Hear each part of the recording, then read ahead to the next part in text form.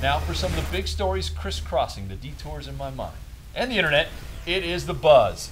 Taylor Swift performed at UVA, and look what the Cavs Men Hoops Twitter feed tweeted out.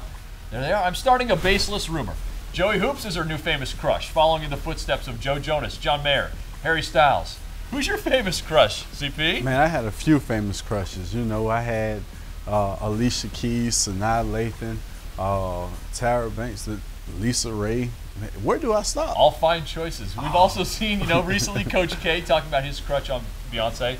Now, I was surprised by this, but T Swift is a huge ACC fan. At the concert, she performed such classics as I Knew the Hoos Had Trouble in the Backcourt, It's a Love Story, Jameis Just Say Yes, I Wish Joe Harris wore number 22, and my favorite, Maryland, we are never ever getting back together. Is that your singing voice?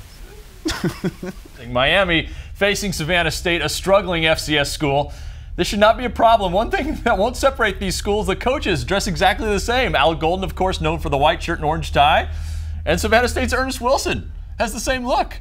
I think it's great to pay homage. I think it's an appreciation. But after the spanking they're going to get this weekend, I doubt if he has anything positive to say about Coach Golden. Now, Al Golden even inspired us to go with the white shirt and orange tie look. That's us. Clinton Portis and Jeff Shell. There we are. Why did they have to put me on the bad body side? Tell me that. I think we look like twins. I don't. a really interesting conference matchup Saturday Georgia Tech and North Carolina.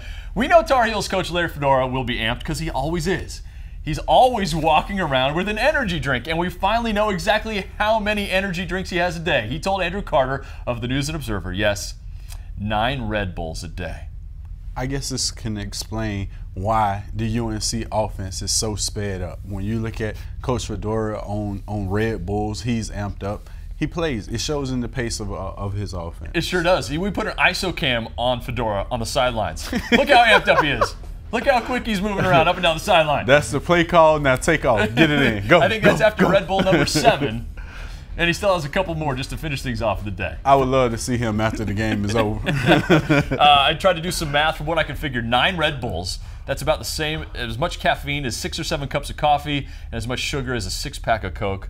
He says that's only during football season, but again, when we've seen him in the offseason, he still has a Red Bull in his hand at all times. North Carolina and Virginia Tech are both honoring the military Saturday. Check out the Hokies military appreciation uniforms. Andy Bitter tweeted out the picture, so I'll ask what he asked. Do you like them? Yay or nay?